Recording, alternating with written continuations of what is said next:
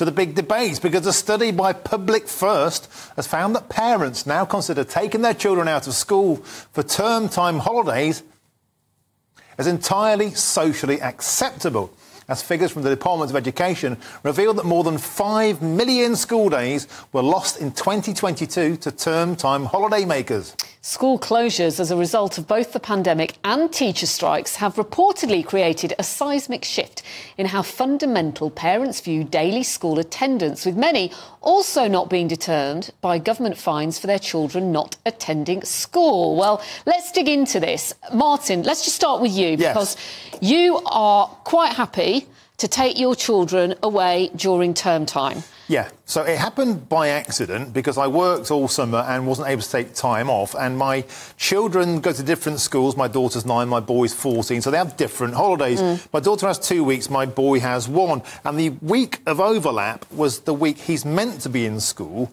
But I just looked at the prices and considering he has an exemplary attendance record, plus I took care of him for many months while teachers weren't at school because of COVID, and they keep taking strikes. I just thought, do you know what? I'm going to go for the cheaper holiday. So I went ahead and booked it. How much cheaper was it? Well, I paid 2,700 quid for four, all inclusive to Rhodes, and it would have been an extra 1,500 quid. So that's a good 50% more to go one week later. The same place, the same deal, the same people. 50% more expensive. To me, it became a no brainer. OK, well, let's see if I guess think it's a no-brainer. We're joined by the Head of Education at the Centre for Policy Studies, Mark Lehain, I hope I've, I've said that correctly, mm. and the Director of Us For Them, Arabella Skinner. So, Mark, let's start with you first of all. You've just heard what Martin said. Is he right? Is it a no-brainer to take your kids away during school term time? Well, I think what Martin said is what a lot of people feel, as that report found, and it's not really a surprise last year, one in nine kids on any given school day was off.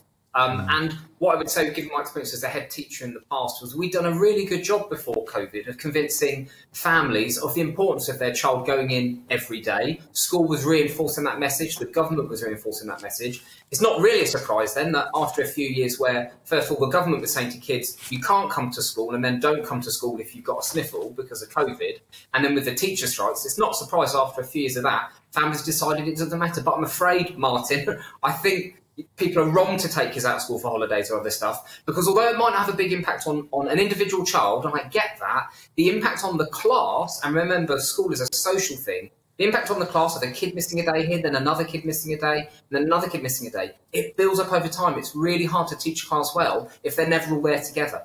Okay, Arabella, I already feel like I'm on the naughty step here. Are you going to add to my woes? I think what you're saying, Martin, is very much what we're hearing from our parents. And you have to remember that Us for Them came to life because we wanted our children back in school. We were campaigning against school closures and wanted children to be at the forefront of policy and thought about. So it's really sad that now many parents feel that it's acceptable to take children out when they were campaigning for children to be in school.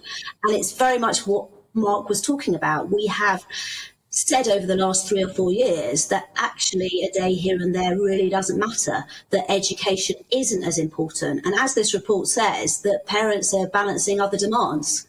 Um, so, yeah, we really need to get back to a world where we, we put education first and we make parents understand and feel it's valuable being in school because at the moment that contract is broken. Mark, yeah. sorry, I, I, just wanted to ask Mark whether there is um, an age consideration. So, mm. is it a lot easier to take your primary uh, school child away on holiday because perhaps the level of teaching isn't as, as intensive?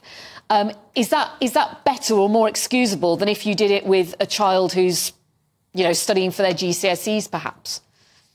I think probably the impact would be more immediate for older children that have got exams. But my primary friends would probably be pulling a face at the idea that it's less important that, that younger children are in school every day. Every day does count. Like I said, the reason why we send kids to school rather than teaching them at home or have governesses like in the old days is because school is a social process. It is about the joy of having a class of teachers a class of children and an expert at the front of that classroom going through the learning together. So, like I said, even if they do just miss a day here and a day there, it does soon rack up, and the impact isn't just on your own child, it's the impact on everyone else. And listen, you, you don't have to send your child to school. Um, the, the children have a right to an education. They don't have to go to school. But if you do choose to send your child to school and have the government spend six, seven thousand pounds a year on them, rightly so, kind of the deal is for 190 days a year they are there, and then you've got the other 175 days a year to do other lovely stuff with them. And I know it's a bind. I've got four kids of my own; they're all in school. Okay, but, but what about you teachers who, who are going on strike? The end result is is the same. I know your reasoning. You've got what you believe is a very good reason, but the end result is still the same. Kids are missing school, so it's okay for teachers to strike and kids to be off, but it's not okay for parents to make the decision to take them away.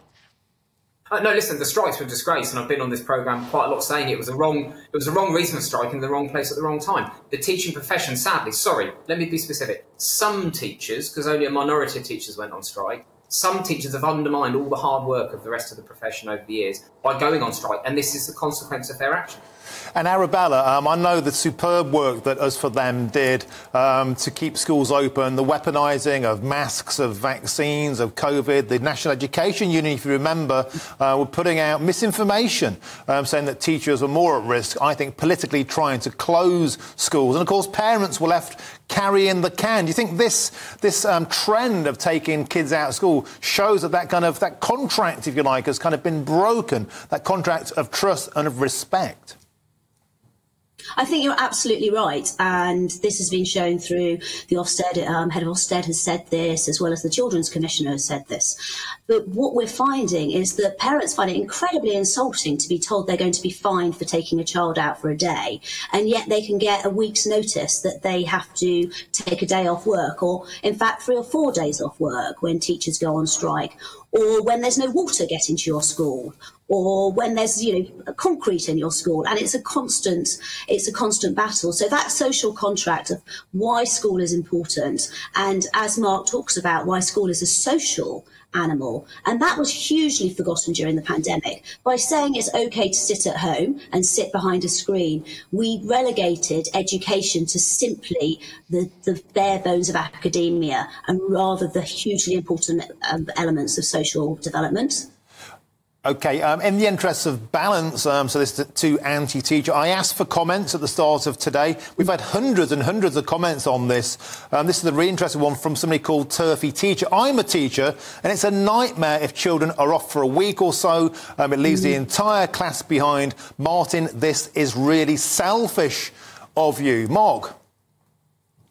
Uh, listen, at the end of the day, children belong to their family not to the state or anyone else. So parents must have the final say as to what they do with their children. Okay. But what I would say is where people are trying to make decisions about sending their kids to school, if they've made that decision to enrol them at school, they need to abide by the social contract and have them in every day as far as possible. Mm. There will always be exceptions to that. I totally get that. But generally speaking, unless it really is exceptional, they've got to be in school. And term time holidays, to, for me, don't feel like an exceptional reason to miss that.